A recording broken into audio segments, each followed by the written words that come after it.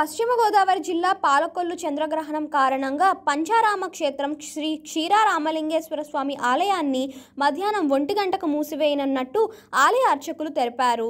తిరిగి రేపు ఉదయం సంప్రోక్షణ అనంతరం ఉదయం ఎనిమిది గంటల ముప్పై నిమిషాల నుండి భక్తులకు దర్శనం కల్పిస్తామని తెలిపారు. చంద్రగ్రహణం ప్రభావం అశ్విని భరణి కృతిక నక్షత్రాల వారిపై ఉంటుందని వారికి తగు దానాలతో గ్రహణ ప్రభావం నుంచి విముక్తి పొందాలని తెలిపారు.